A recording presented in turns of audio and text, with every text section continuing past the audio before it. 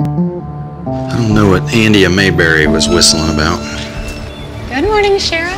The aggravations at work been piling up. The right question would be whether it represents the best use of my limited manpower. Joe, I got a beef with you. Sure is a scorcher today, isn't it? The job is what it is.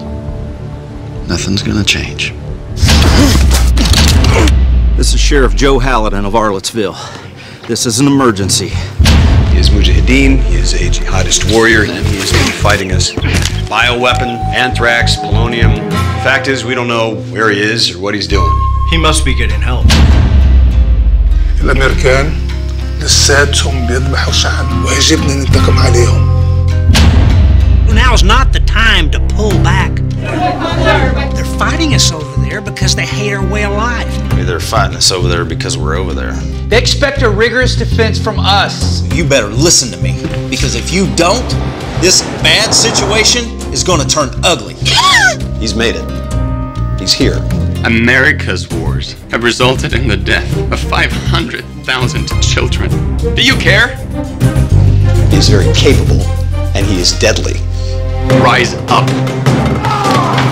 You must have another plan. What are you gonna do, Joe? We are talking about human lives here. Those guys weren't who they claimed to be. How could you let him do it? Well, you have a good day, Sheriff. And thanks for the conversation. Pleasure was all mine. This is my stretch of Texas ground. So I stay on it.